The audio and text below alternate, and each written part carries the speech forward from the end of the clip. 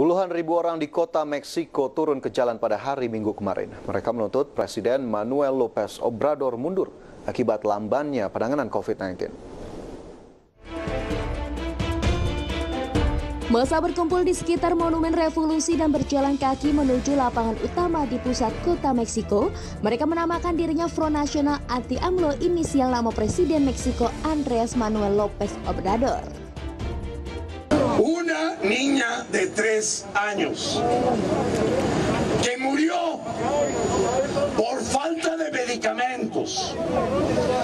Ella es una personita real.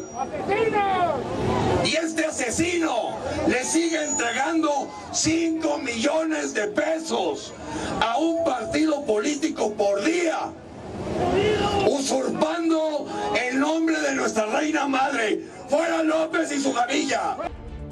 Para pendemo menuntut Presiden Obrador mundur lantaran dianggap tidak mampu menangani pandemi COVID-19. Mereka membentangkan spanduk dan poster anti Presiden Obrador. Selain tidak handal menangani pandemi COVID-19, Obrador juga dianggap gagal mengatasi krisis ekonomi dan kekerasan geng kriminal. Berbagai sumber, IDX Channel.